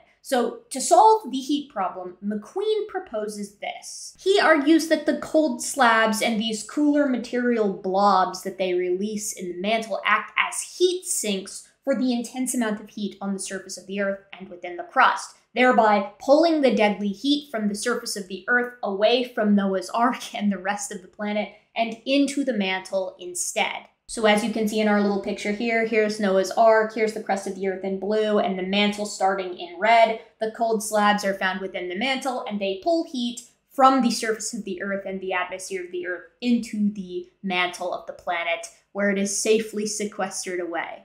And from the calculations we've done, King, uh, Is that lowercase king capital? uh, let's understand. Now let's assume for just a moment that Baumgardner is right and these cold slabs exist and are problematic. Can they exist as a heat sink to solve the heat problem? The answer is a vehement no, and the reason is very, very simple and has also been explained to McQueen several times. Essentially, the problem is thus the mantle of the Earth is very, very hot. It is 1,000 to 3,700 degrees Celsius, moving from sort of the outward portion of the mantle to the core. This means that in order for the mantle to act as a heat sink, including the cold slabs, which are not much colder than this, contrary to their name, I believe the coolest they get is 500 degrees Celsius. So we've got 500 degrees Celsius here to pull the heat from the surface of the Earth. According to the second law of thermodynamics, in order for this to act as a heat sink, right, the entire area that the heat is being pulled from has to actually be hotter than 500 degrees Celsius, or else the heat will not flow into the system. Heat always flows from hot to cold. It's trying to reach equilibrium. This is the second law of thermodynamics. So actually, this is just still a heat problem, isn't it? But See what's that I got to do? in my But but David, what does that have to do with the radiation problem? Oh, I'm, I'm coming to that. Just give me a minute here. Let me see if I actually have this reference here. Um, I don't have it quickly. What it has to do with the radiation problem is this. Uh, if these sort of blobs occurred during the year long worldwide flood, they would then become uh, heat sinks. And so, not only in these areas are there obviously a thermal rise. But if you look at the physics of it, these things can cut both ways. So in Baumgardner's catastrophic plate tectonics model, which has the plates moving not a few centimeters a year, but meters per hour, this is going to allow the heat generated in this area to be taken back down to the mantle. For those wondering, the specific math on this has at the time of Noah's Ark the temperature of the Earth being 40,000 degrees Celsius if we start accelerating radioactive decay at Adam and Eve. If you don't, if you just do it beginning in the flood, this number becomes 70,000 degrees Celsius per kilometer. So the blobs model does not work because of the second law of thermodynamics. It's just not going to happen, and no amount of math, unless you're changing the fundamental rules of physics, is going to help. That's why George and McQueen are going to be working on that math for a little bit longer than a year. Moving on to those cold slabs, because the question then remains are the cold slabs actually problematic? Are they, as McQueen says, against evolutionary predictions and indicate that the Earth is quite young indeed? No, cold slabs aren't problematic for conventional science in an ancient timescale. Back in the 90s, cold slabs, as they are sometimes called, but as Baumgardner always refers to them as, were poorly understood, but today, and specifically there was a paper done here, as you can see in 2021, we understand them to the degree that we have like a nice dynamic model to explain precisely what is going on there. We also have more precise measurements. So let's talk about cold slabs, how they form, and what they mean for the conventional timescale. The paper here is Slab Temperature Evolution over the Lifetime of a Subduction Zone by Holt and Condit 2021. Cold slabs are associated with oceanic crust. In this graphic you can see here, which is a graphic designed by the authors of the paper, but used for a sort of press post. I think it's easier to understand, so I'm using this one, but I'll link the original paper in the description. Shows the oceanic crust being subducted underneath the overriding continental crust. It's being shoved underneath into the mantle underneath the continental crust. And critically, this is where the cold slabs are formed with the oceanic crust that is suffused with water. As the oceanic crust is subducted underneath the continental crust, the water begins to boil off. However, this has to happen relatively slowly over long geologic periods because it's a continental plate and there's a lot of water, like, you know, an ocean's worth. This results in a dynamic temperature gradient, as you can see here. We have 100 degrees Celsius before the subduction, then 300 degrees Celsius, 500 degrees Celsius, and very quickly into the 700, 900, and 1100 degrees Celsius. This is very hot indeed, and not cold enough to act as a heat sink for your um, for your your heat problem solution, your blobs, if you're McQueen.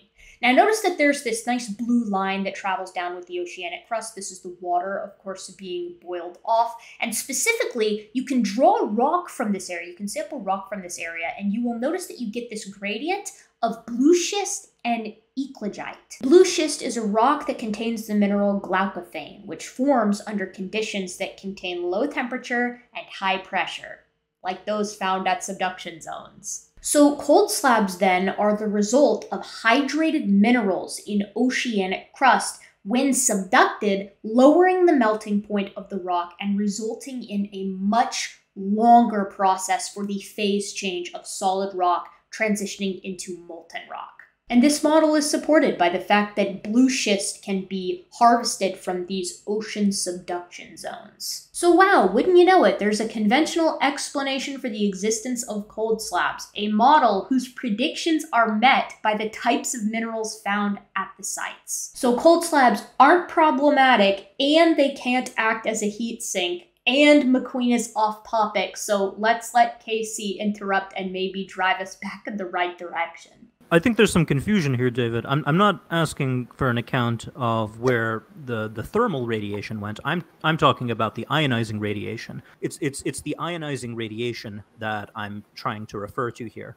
It's it's the stuff that is flowing through the materials and is that is going in every direction on Earth um, and is accelerated to to a substantially greater degree than than what's happening right now. Because if you, if you accelerate if you accelerate the decay rate, you're accelerating the flux of of um, ionizing radiation, and if you're accelerating the flux of ionizing radiation, especially to the to the degree that creationism requires, which is like on the order of hundreds of thousands uh, of, of, of, of, of, of a factor of hundreds of thousands, um, you are now delivering lethal doses of ionizing radiation, even without the temperature, right? You you, you could do. Well, I without- see. Uh, I see, King, that you and I share some experiences. Uh, I uh, have over 20 graduate hours in toxicology and further training through OSHA. So I know exactly what you mean when you talk about LD50. Oh, good. Then McQueen should be able to understand precisely what the problem is. Let's hear how he's going to fix it. What I'm trying to suggest is that while George Bond and I do not have every answer, we're moving in a direction where this LD50 calculation that's been done by you and others is simply incorrect. Uh, there would not be that sort of dose. Um, Oh, okay. We don't know how yet, but we do know that you're wrong, and we'll prove it eventually. I like too how he says we don't have all the answers. You don't have any yet, McQueen. You and George have no math for your heat problem solution, and it breaks the laws of thermodynamics. And your answer to KC here, who laid it out quite plainly, is ah, ooh, we'll get there eventually. I love what KC does next here, where he's talking about exactly who has come up with the calculations for this lethal dose of radiation. But but David, it's it's not just me and you know others who agree with like the, the RATE project, the, the the group of creationists who got Yes. together and tried to address this. They themselves have acknowledged that the radiation problem uh, is unresolved and will continue to be unresolved until some exotic new physics are discovered. This is this is fatal not only to the people who are living on Earth and who get exposed to this ionizing radiation. This this is fatal to creationism. Yes, and there he puts it quite clearly, right? That's the ball game. Until you're going to show up with these exotic solutions that the RATE Project heavily indicated would end up being miraculous, then it's game over for young Earth creationism. The, the radiation, the heat, none of it is going to be able to um, find its solution in conventional means. Which means it's no longer science. And that's the entire goal of the young earth creationists at AIG and ICR. They want to say that we have proof for YEC, and it's not just magic did it, right? It's scientific proof. But this is a silver bullet to that, and they are not going to be able to find a way around it. By their own admission, as KC pointed out.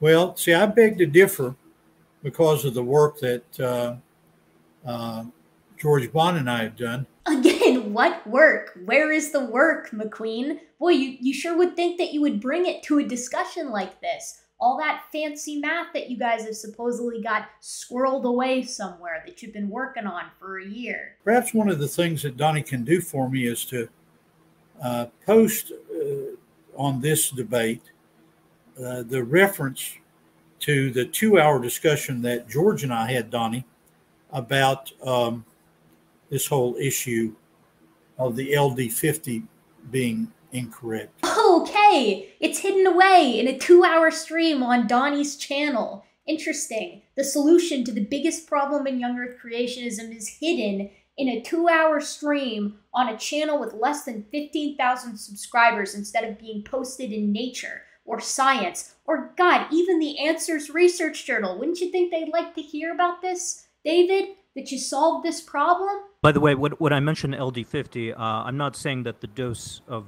of the Earth is going to be at LD50. It's actually going to be much higher than that. It's going to be probably closer to like LD99. Great, so the stream is irrelevant anyways because they were working with the wrong assumption of the LD number. How will McQueen respond to the fact that he was working with the wrong assumptions and his work is entirely baseless on the radiation problem? Okay.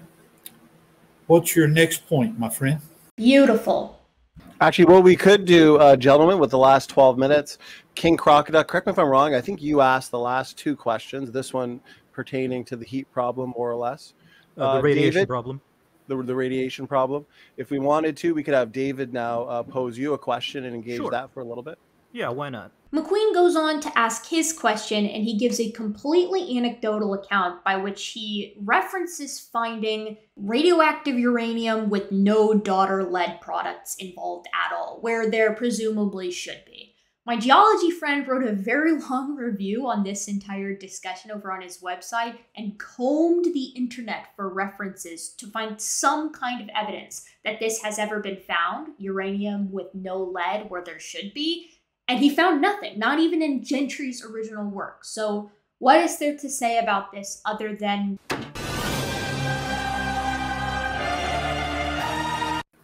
Um, so I'm not sure I really understand the objection. Is is it, just to clarify? Are we saying that there's a deficit of lead where we would expect half of it to have been uh, half of it to have decayed to lead? Yes, that's correct. Okay, so uh, to to answer your question, um, uranium doesn't decay straight to lead. It decays into a bunch of other things on the way. I don't, I don't know what geological processes might be at work to uh, to, to make it so that you know uh, let's say we have some well-defined distribution right of what these elements should be Yeah, Uh, right. I, yeah I, I don't know what geological process might be in play um, to sort them in, in one way versus another uh, in order to produce these kinds of results I, I would have to look into it more Okay, well, Um, perhaps we can debate again uh, after Christmas and come back to this. Um, yes I'll, I'll look me, forward uh, to seeing your funnel plot analyses and see if you found any yeah. evidence of bias I don't think McQueen is going to be running that statistical analysis, to be honest with you. With regard to this question, it's always hard when put on the spot with a very specific example. So, usually, my strategy is first, let's see the citation. So, I make sure that the individual asking the question with this anomalous example actually has an anomalous example instead of one of those things where look, we have this problem for evolution or the ancient age of the earth. And then you look into the paper and the problem is presented in the abstract and then solved in the body of the paper, as in that was the point of it. So if I was KC here, I think my inclination would be to say, oh, really? You have this example of just uranium with no lead in the product? Show me this, this citation. Um, and I, of course, I'm asking for that now because I can't check McQueen. No one has been able to find this example of uranium only. I think KC did really well for on the spot by basically proposing a plausible reason. Uh, but it would have been nice, I guess, to just see him say, and also, where's your citation? I'm being really nitpicky, though. I think KC's killing it in this conversation, obviously. McQueen finishes by asking another geology specific question. This time, he's talking about some of the work that Gentry has done. According to my understanding, it's pretty easily answered by intrusions, but I'm not really sure what McQueen was asking, to be quite honest, and neither was KC. They went back and forth for a minute, and McQueen took like five minutes to explain something before ending with. But we want to turn this into a geology lesson here. Let's go on. And there's like one minute left, so they move on to closing statements, which I'll play for you now. Edited down though to the primary points. Cool. So I'm just I'm just going to quickly reiterate the basic points. Um, First of all, decay rates are indeed derivable from fundamental physics. You know, once once you model, the better you model these things from fundamental physics, um, the closer you get to the experimentally observed values. And I think that this fact is devastating to creationism because now you're not just at war with geochronology, you're also at war with quantum mechanics. Second, the cross confirmation. The point is, if, if, if you want to check for publication bias, uh, the tools are available to you. You can check for them based on the analyses that I've done so far, um, it doesn't look to be the case that there's publication bias. So I'm not sure that the suggestion of bias and conspiracy hold up given given this information. I, here, here are some results from Bouvier et al. from 10 years later, and they they match the ones from um, from 15 years prior. So it's table one on the right. You've got uh, four and a half billion years. That's that's the age that you get using all of these different methods, and then using a completely different method using uh, lead lead dating. You know he gets the same results and it's not just like one measurement you can see. There's there and then finally um, the philosophical point. Like you can you can gesture to individual anomalies. You can point to details here or there where something doesn't appear to make a great deal of sense and where you have to continue to do more reading and more digging into it until you see oh okay there's a plausible explanation. Um, the point is if, if you're going to suggest a kind of revolutionary overthrow of the existing science um, you know, pointing to individual anomalies here and there, it's it's just not going to cut it. You have to do better than that. I think that was a great way to round things off, retouching on all of the initial points and showing how they hadn't been addressed. And then we hear McQueen's finale. Good. I want to take the first minute to talk about some of uh, uh, King's misunderstandings. McQueen brings up reference 16 in Gentry's book again, and I'm not sure why he's bringing this up. It's that same thing where he's grappling with cross contamination instead of actual decay rates, which was KC's original point. You will find that under creationist assumptions, uh, there is no proof at all that uh, the decay rate has been constant.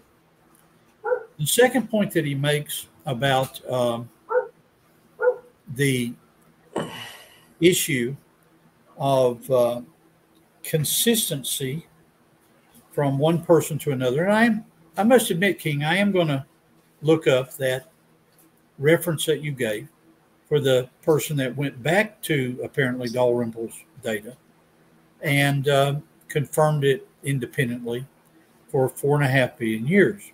That's good that he's going to look into it. Wonder what his conclusion is going to be. Now I want to go into a different way of uh, of argument, and that is the philosophical way. Uh, my point bears on this whole issue of mammography. Keep in mind that although there are problems with the uh, mammography and the interpretation of the X-rays, there are women that really do have breast cancer, and there are women that never have had it.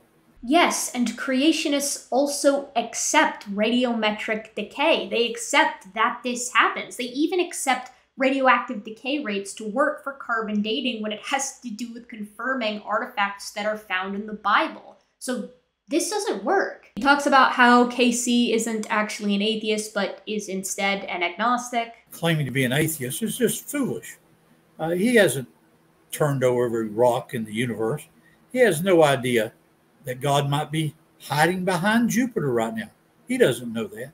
So he's an agnostic. He's not a uh, uh, a uh, an atheist. He talks about the archaeological evidence for the Bible and why he feels that that should provide evidence for trusting the Bible, reasons to trust the Bible. Again, seemingly forgetting the role that carbon dating plays in like affirming the legitimacy of certain events that happened. But going back to the point of this argument, uh, I'm concerned that uh, King and other old Earth evolutionists that are agnostics are missing the evidence that our world uh, gives. President Ronald Reagan had a one liner that was pretty good. He said uh, he once 30 brought seconds. thank you. He once brought in a bunch of atheists to eat a fabulous meal at the White House. And after they had finished the meal, he said, Well, I hear you all are atheists. So he went out to the Rose Garden. And when he brought him back in, he said, When you ate that meal, was there a cook, you think? Oh, yeah, there had to be a cook. When you see the beauty of nature, there has to be a loving God. Awesome. We finish with a look at the trees argument. Anyways, then they go on to the Q&A and while I'm not going to go through every question, there are a few questions and answers of note, both from excellent performances with KC and with performances by McQueen. The people at Apple are reliable when it comes to talking about the date that a cell phone was made, just as the Bible is reliable in talking about the age of the earth being 6,000 years old. Remember that the age of the earth isn't actually something the Bible specifically and explicitly touches on. Instead, that 6,000 year date we get from Bishop Ussher, a man, a human guy, a fellow who is fallible, who just kind of counted up the ages of the patriarchs to get it. So let's not confuse the Bible with a dude's hot take. Next question comes in from Creationist Crybaby, $5 super chat. Thank you so much for supporting this channel. So the question is for you, Professor David McQueen. The rates of seafloor spreading are made using GPS measurements.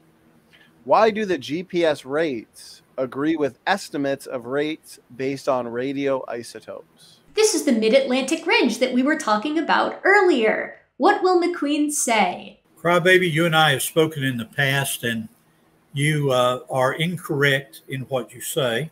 This was very intriguing. How is it possible that this could be incorrect? I thought to myself. And then McQueen goes on to cite a scientist. Well, one of the scientists there, and this would have been, I guess, 1980, um, was named Lowman, Paul Lowman, L O W M A N. McQueen references Lowman's work from the 70s and 80s and suggests that Lowman, a guy who worked at NASA, evidently came out against this idea of plate tectonics, at least with regard to the mid Atlantic ridge. I thought this is very fascinating. I wonder if I can find anything by him. And of course, there's always a paper trail. So Paul Lowman is a real guy, and one of the first things I found about him with relation to plate tectonics and continental drift was in this little periodical in Science and Technology, uh, which is titled The Challenge the Continental Drift. So this sounds right, and it references a publication by Lowman from 1983. And they go on to say, they talk about Alfred Wegener, and then they say, the congruent coastlines separated by the Atlantic Ocean are the strongest evidence for continental drift. Yet, Lowman points out that when the east coast of North and South America is fitted together with the west coast of Eurasia and Africa, there's no room for a large chunk of southern Mexico. Similarly, the Arctic Ocean coastlines of Canada and the Soviet Union, that should give you a hint at the time period this was published, should mesh but do not. And if all the continents have been moving away from one another, the Earth should have expanded over the last few hundred million years. In fact, it has, but not by enough to accommodate the movements in the quote unquote drift theory. How then can the continents remain stationary if the seafloor spreads? Lowman asserts that the shifting oceanic plates should be pushed under the continents rather than against them. The continents appear to mesh, he adds, because the sediment from the Earth's mid Atlantic upthrusting mantle is distributed symmetrically on the coastlines by ocean tides. Lowman concedes that few of his fellow geologists share his views, but soon there will be nothing to debate at all. Within the next 10 years, sophisticated NASA telescopes now in orbit around the Earth will determine whether the continents really are moving, foreclosing any incipient rift in the community of geologists. And it turned out that periodical from 1983 um, would have some interesting foresight. In this article from 2011 titled Remembering Paul Lowman, because Paul Lowman passed away in 2010, it notes that Paul Lowman was actually pivotal in developing land satellite technology. Um, he helped manage some of the early Landsat research and co authored Mission to Earth, Landsat Views the World, and Planetary Landforms chapter of Geomorphology from Space. Dr. Lowman created one of the earliest maps using Landsat 1 data, and he authored a 1999 photogrammetric engineering and remote sensing journal article titled Landsat and Apollo the Forgotten Journey. So I saw this and I thought, well, boy, that sure is fascinating. It sounds like Paul Lowman, if anybody, should have been the guy to come around to plate tectonics. And so I did some digging to see what Paul Lowman thought about plate tectonics and the spreading at the Mid Atlantic Ridge, at least after that original uh, periodical from 1983. Did he change his mind? In this article titled Global Tectonic and Volcanic Activity of the Last 1 Million Years by Paul D. Lowman from the year 1997 in April, we see Paul coming around to plate tectonics in full. He notes Plate motion and rigidity have been directly measured in many areas by space geodesy, specifically satellite laser ranging and very long baseline infro interferometry, and more recently by GPS, the Global Positioning System. The primary phenomena of plate tectonics, seafloor spreading and subduction, have thus been demonstrated beyond reasonable doubt for various plates making up the Pacific Ocean. Directly measured plate motions have proven surprisingly close to those inferred from the spacing of marine magnetic anomalies, covering around 3 million years. The space geodesy data will be shown in future editions of this map. However, the spreading rates calculated by Minster and Jordan in 1978 are retained in this one.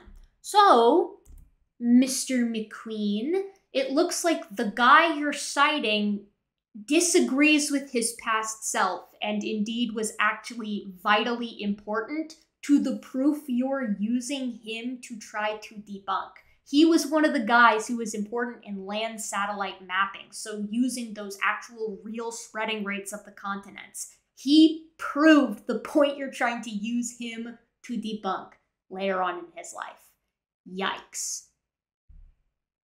And to be abundantly clear, like McQueen just thinks that the tectonic plates aren't moving anymore. And that's not even what Paul Lowman thought back in the 1980s. He thought that they moved just primarily at these uh, seafloor spreading locations in the ocean. He just thought continental plates didn't move, or at least didn't move as much. There, okay. there is evidence that in the past the continents have separated, but there's not evidence that in our modern world they continue to separate in the zone between the mid Atlantic and Iceland. And that's just wholesale ridiculous. I don't think that you can hold the opinion that the continents aren't currently moving when we have GPS like stationed in the bedrock of all the continents and document them moving every single year. Not just NASA is doing this, right? Other organizations associated with geology and meteorology are also involved because it turns out understanding how the continents move is really important. Why does McQueen think earthquakes happen?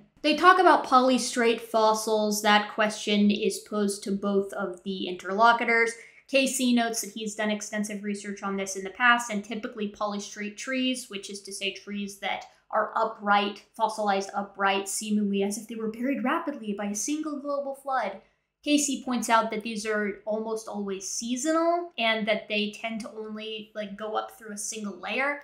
Then McQueen counters by saying, no, uh, I've seen polystrate fossils that go through multiple layers. And to that I say, it doesn't matter whether it goes through one layer or multiple layers. I think that it is possible that McQueen has seen polystrate fossils go through multiple layers, but the problem is polystrate trees almost always have regenerative growth which suggests that after a tree is partially buried by a localized flood, it recovers, and certain aspects of the trees, usually of the root systems or the branches, continue to try and grow up and regenerate the tree and still keep it alive. Then, typically, it's another seasonal flood, either within the same season or the following season, comes along and buries it the rest of the way. Riddle me this, Mr. McQueen. How do you get a polystrate tree with regenerative growth if it was buried during a single global flood? How is it going to continue to try to grow upward and in some cases even reach into the layer directly above it? The next question, which is posed at KC, is how do we know that when radiometric decay is happening, that we start with all parent and no daughter? We touched a little bit on this earlier, but KC takes a different approach and he starts talking about the nature of physics and how this relates to uranium and lead. McQueen then breaks in to start talking about how uniformitarianism is dumb and stupid, and then KC has to say, no, we're not talking about that, we're talking about something else. I cut out, obviously, a huge portion of McQueen's kind of anecdote here, so if you want to see what all he had to say about uniformitarianism, you can go to the original video. Gotcha. Okay, from Samir Farsain for five dollars, they say uh, to uh, King Crocoduck, how can you prove that daughter elements like lead and uranium weren't already present in samples uh, who, when it formed, you can either deny or confirm? Yeah. So, um, looking specifically again at the case of, of uranium and lead, um, the formation of zircon crystals are uh, they're, they're based on condensed matter physics. And if you look at the math for that specific case, there, there are only certain allowed elements, um, certain allowed energy thresholds that have to be met in order for these crystalline structures to form. And in the case of uh, uranium lead dating with, with these zircon crystals, um, it's not possible for them to form using any conventional methods, at least that I'm aware of, um, that allows lead to be present inside of this crystal structure. So the only way the lead gets there, the only way lead becomes part of that structure is if it's initially uranium and then it decays into lead. Well, the the error that King is making is the error that Darwin and so many um, in the uh, 1800s made. They assumed that the present is the key to the past. I think David has misunderstood the problem here. Um, it's not merely that we think that there are these general large-scale, uh, higher-order processes that are that have been the same uh, over time. Of course, we know that's not true. Um, it's the laws of physics that remain constant over time, and in this case, condensed matter physics, which allow only for certain configurations of elements um, under certain conditions. And in the case of zircon crystals, you know, if, if you can identify a mechanism that allows a zircon crystal to form with lead already in it, I think you'll have the ghost of a point. But as far as I can tell, it's just not physically possible. Does David know about the 1997 dating of Mount Vesuvius igneous rock? It was argon to argon dating, and the test results showed an age of 1,925 years. Since it was 1997, that was only off by seven years. The Vesuvius dating is notoriously difficult for young Earth creationists because we obviously have a historical record that tells us the exact year that this thing happened. This is the paper I like to go with Argon Argon Ages of the AD 79 eruption of Vesuvius, Italy. Um, and they note that Argon Argon dates of 1,925 plus or minus 66 years was gleaned in 2004. They note this is the calendar age of the eruption. Our results, together with the work of Renne et al. in 1997 and Renne and Min in 1998, those are the two papers you usually see, and the 98 one is the one I cite most often, demonstrate the validity, the validity of the Argon Argon method to reconstruct the recent eruptive history of young active volcanoes. So yeah, this is this is going to be an issue for uh, for old McQueen and other young Earth creationists. How do you think he deals with it? We know when Vesuvius blasted off. And so we have a historical date for um, the eruption of Vesuvius. So we know that from eyewitness accounts. King Crocoduck has accused me of some sort of global conspiracy, global um, cooperation among these 200 people that do radiometric dating. Uh, that's not what I think. And I, I hate to return to money. Isn't it strange how so many things revolve around money? And I'll and I'll say it this way: whoever got this date uh, being only nine years difference was actually the calendar year, so you know exactly right. If they had not done that, they would have lost their job and their children would not go to college. They they have to choose a date that matches the evolutionary bias. And so I reject that date because it's some 50 year old guy who wants to still make his Mercedes Benz payment and send his children to a good school like University of Tennessee. That's that's my explanation. Yeah, so he thinks it's conspiracy, of course. Um, you know, this is interesting, right? This is, reasoning is very flawed because in McQueen's eyes, there's no actual real way to test radiometric dating like at all, unless he himself is physically doing it. Because otherwise, he can always just say, well, that's the date they wanted to get. This is literally just they're lying every time he gets an answer that he doesn't want to hear or sees a data set that he doesn't want to see. There is no way to actually prove radiometric dating to someone like McQueen. Well, Dave, the good news is I provided you with a tool that would actually allow you to substantiate that claim with evidence instead of just telling stories. So you go ahead, you look up funnel plots, you look up Egger's regression test, you look up uh, Bayesian, robust Bayesian meta-analysis. That's really the gold standard, I think. Um, you go ahead and you use these tools and you expose those uh, dishonest yeah. geologists. In uh, January, February, when we have another debate, my friend, um, I will have looked into those methods, and uh, we'll talk more okay. then. So, incidentally, I, I've I actually want to uh, just just uh, bounce off that question a little bit. Uh, Dave, what about your uh, lifestyle? What about the payments that you've received from the Institute of Creation Research, Answers in Genesis, whatever other organizations you've been affiliated with? Couldn't a person make the exact same accusation against you?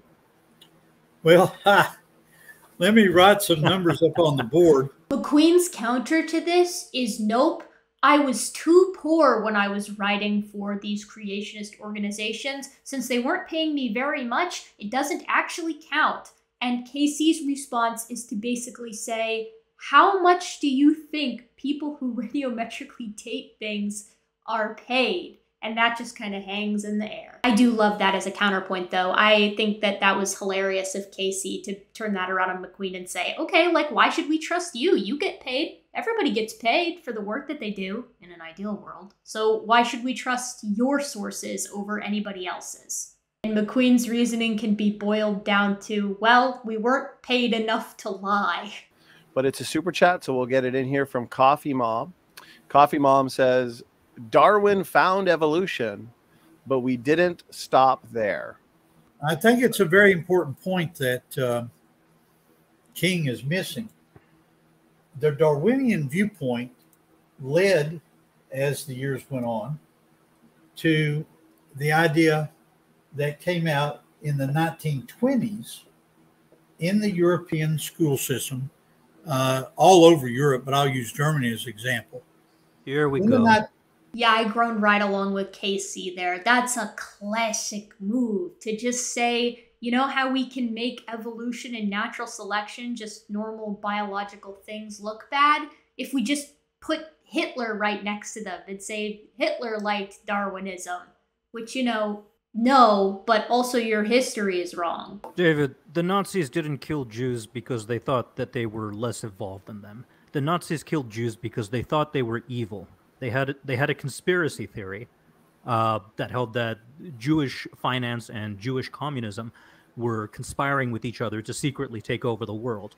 Um, regardless of whatever eugenics beliefs they they had, um, they would have still carried out the Holocaust, even if they thought, uh, you know, even even if they didn't have, uh, you know, this this this perversion of, of evolutionary theory. It wasn't even really evolutionary theory. Uh, they believed in a lot of crazy BS. You you you have Hyperborean nonsense about uh, these ancient Nordic civilizations living under the ice or whatever. Whatever you have, you have these occultist beliefs, and you know we can. I, I can play this game too. I can point to the former Soviet Union uh, and how their rejection of genetics um, and their rejection of evolutionary theory as it stood at the time uh, led to Lysenkoism, whose implementation caused the deaths of millions. Oh yeah. So we can well, we can we can play this. I can play this game too, David. Is what I'm saying, and my yeah, history will be better because I'm not going to mistake Weimar Germany for Nazi Germany, the Weimar No. Germany being in the 1920s and, and, and Nazi Germany Well- being in the 30s. Evidently, historians are kind of split on Darwin's influence on the Nazis, and this is mainly because they did advance eugenics, but they also did dip heavily into the occult and magic and psychic powers and things like that. So, what I will say here is that I did think it was pretty funny that KC pointed out that, you know, McQueen goofed up the 20s and the 30s there, especially because, like, my history is not very good, and I got that one. But it also deserves to be mentioned that common descent and evolution by natural selection are not the same thing as social Darwinism and eugenics. I would sincerely hope that anybody dating to talk about evolution as much as McQueen does would understand the difference there, although I know he doesn't. No, you're clearly making a mistake. Have you read Mein Kampf either in German or English? Have you actually read what Hitler wrote? I've read parts of it. He's not a great writer. No, no, it's a, it's like a punishment of hell to try to get through it. But if you go to his actual words, you come with a different and you know. Does he mention comment about- Darwin? Does he mention again. Darwin even once in Mein Kampf? This is a question I actually know the answer to. Um, He doesn't know. Well, I, I have to pause on that. I think he mentions more the idea of eugenics and Spencer and people like that. Does he even mention Darwin once? No. Thankfully, Donnie comes in in a panicked state to stop McQueen from making himself look even worse, and thus Donnie by proxy. Uh, guys, appreciate the, the back and forth there. Maybe we should move on to the next Yeah. question. Yeah, sorry. Um, no.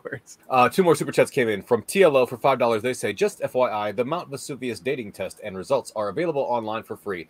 Did David read slash look at those before saying it was a big conspiracy? Question mark. Okay, I would uh, like for you to send that either to Kaz or to uh, Donnie, and I will take a look at those results. He hadn't read the paper. He just didn't he didn't read it. He just knew it was going to be a conspiracy because they all have to be conspiracies in order for him to stay a young earth creationist. Ah. But I don't, uh, in order for my argument to stand, I don't actually need to see the results. What a nice, safe little box McQueen has painted himself into here, right? There is no data, there is no paper, there is no proof that he can see that would ever even move him a tiny bit from his young earth creationist position. He has made sure of it. Anything is either a conspiracy, it is wrong, or he hasn't read it and never will. There are a few more questions before everyone kind of starts to draw to a close and take their leave, and the discussion is over. I think it's pretty clear that KC, um, I'm gonna go with ruined here. He ruined McQueen, and the reason I say ruined is because this is not something that McQueen can come back from. The fact that his response to the majority of KC's points was it's a conspiracy, even though KC came with statistical tests to show that it was not, in fact, a conspiracy, is very telling indeed. More telling is the fact that, to my knowledge, McQueen has not been on Standing for Truth's channel since this debate. I think Donnie is painfully, woefully aware of just how badly that went. KC was dangerously well prepared for this conversation with the statistical tests, yes, but he's also got quite a bit of experience with young Earth creationism, and so he knew quite a few of the rebuttals to discordant dates and things of that nature off the top of his head. I think that he kept his cool quite well when confronted with questions that he didn't know the answer to right off the top of his head, and in comparison, uh, McQueen floundered a lot. And when in doubt, again, he just resorted to, well, it's conspiracy. They do it for the money. Oh, but they don't communicate with one another. It's just a coincidence that the dates match up. Add on to the fact that McQueen is not a very good speaker. He speaks in a very slow fashion. He takes a lot of detours and goes on a lot of anecdotes and is not very good at keeping his points succinct, which also makes him come across as a worse debater, as it were, as compared to KC, who keeps things on topic and rather laser focused. All of these things put together, along with the rather snide attitude that I feel McQueen has towards KC, as in, you know, he's already made his mind up, he knows that he's right, and he doesn't seem very willing at all to hear what his opponent has to say. Which, like, why have the conversation then? If, you know you're hoping to pull people over, you're not going to do that with a "it's all a conspiracy" stance. This was very painful for me to get through. I listened to this entire debate a total of three times. Once while I was at the gym, once while I was splitting up the clips for this video, and then once again while I was editing in my own responses. And um, it is very rough to listen to. I actually think the way that I've cut it up is the easiest way to consume it, although, yes, I did cut out bits of uh, McQueen and KC's responses to one another just for the sake of brevity. It's an unfair matchup. I think everyone can appreciate that at this point. I don't think McQueen was well prepared, but then I don't know how he would prepare for something like this he's already wrong and there's not enough math in the world that he can do to change the foundations of physics. Although I do think eventually young earth creationism is going to have to come to terms with the fact that they don't have an answer to this heat problem, to this radiation issue, and they're going to have to chalk it up to a miracle or go McQueen's route and say it's conspiracy. In that way, I guess it's good that we got a little look into the future, huh?